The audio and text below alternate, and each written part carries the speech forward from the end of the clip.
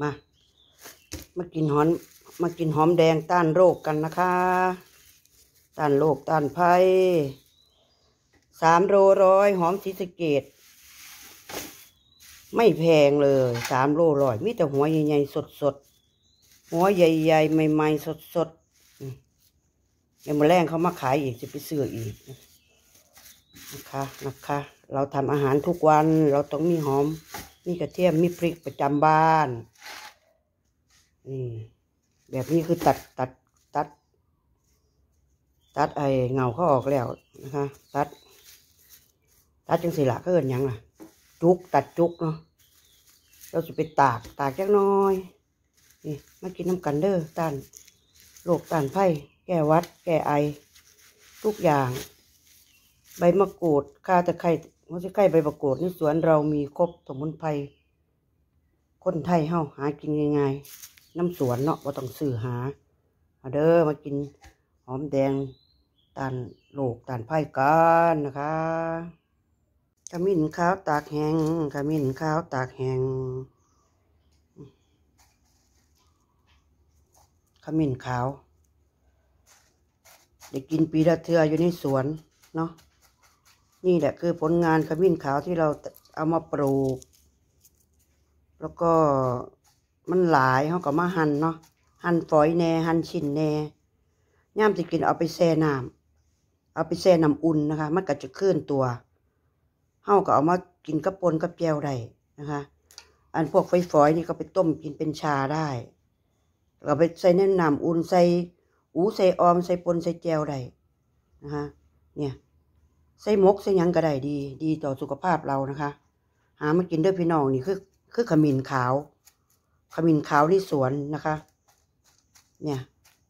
เอามาตากแห้งอันฟอยจะเอาไปกินเป็นชาชงชากิน ตอนเช้าๆก็ได้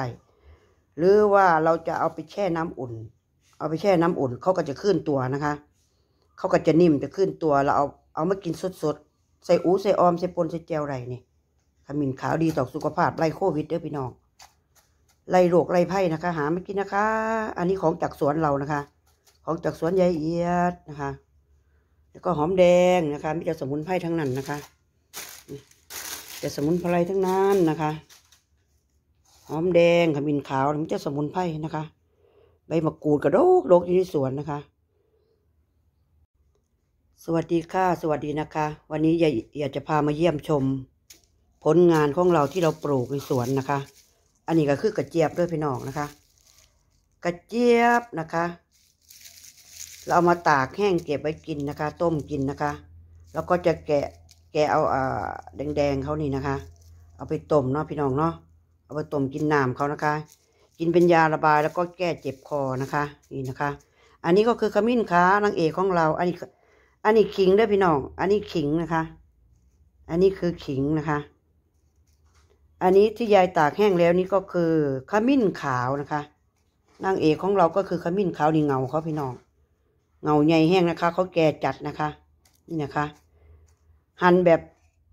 หั่นแบบเป็นแว่นกับหั่นแบบเป็นฝอยนะคะ อันนี้ก็คือเป็นแว่นเนาะนะคะ พามาดูสมุนไพรในสวนที่เราปลูกนะคะ แล้วก็เราถนอมอาหารหรือเราถนอมวัตถุดิบของเราโดยการตากแห้งนะพี่น้องเนาะนะคะ อันนี้หั่นหั่นเป็นแว่นนะคะ อันนี้ก็คือหั่นเป็นฝอยนะคะ หั่นเป็นฝอยกับหั่นเป็นแว่นนะคะ เราเก็บไว้กินนานๆนะคะนะคะ เก็บไว้กินนานๆนะคะถ้าเอาไปแช่น้ำนะคะ พี่น้องเอาไปแช่น้ำอุ่นนะคะเขาก็จะเขาก็จะนิ่มนะคะ เอาไปใส่ปนใส่แจวเอาไปใส่อูใส่ออมได้นะคะนี่นะคะ คือขมิ้นขาวกินแก่เอ่อเก็บข้อไล่โรคกันนะคะ แล้วก็สมุนไพรอีกตัวก็คือหอมแดงนะคะ หอมแดงนี่คือคือยายเอียดซื้อมานะคะ ในราคาสามกิโลหนึ่งร้อยบาทนะคะหอมซิสเกตด้วยพี่น้องนะคะงามงามหัวใหญ่ๆตันดีนะคะยายเอียดก็จะเอามา ตัดจุกแล้วก็จะเอาไปตากสักเล็กน้อยแล้วเก็บไว้กินนานๆนะพี่น้องเนาะนะคะ ต่อไปก็คือพริกนะคะพริกบ้านเฮาเนาะพี่น้องพริกหน่วยใหญ่ๆนี่นะคะพริกบ้านนะคะ นี่ก็คือปลูกเองนะคะ มีสองต้นใหญ่มากเลยในสวนนะคะ มีพริกมีมะละกอ มีข่าตะไคร้ใบมะกูนะคะนนี้สวนย่ายนะคะ อันนี้ก็คือพริกพริกบ้านนะคะ ที่เขาปลูกเองนะคะ อันนี้ก็คือกระเพรานะคะ ใบกระเพราเนาะนะคะ อยู่ในสวนเหมือนกันนะคะ วันนี้ยายเอียดจะมาผัด ผัดกะเพราไก่นะคะ กินง่ายๆ กับตาสอนสองคนนะคะ วันนี้กินอาหารจานเดียวนะคะ กับไข่ดาวคนละลูกก็พอนะคะ วันนี้กินง่าย ๆนะคะ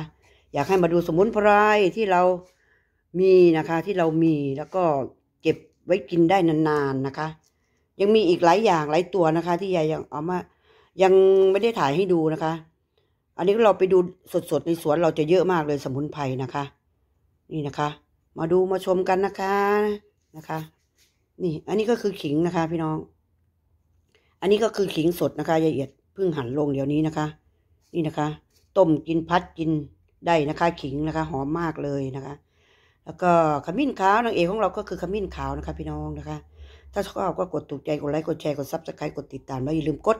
กระดิ่งให้ยายเอียดด้วยนะคะ จะได้ไม่พลาดเมนู แล้วก็คลิปดีๆต่อไปนะคะนะคะนี่นะคะสมุนไพรบ้านเฮาหาได้ง่ายๆในสวนนะคะ ในรั้วในสวนของเรานะคะ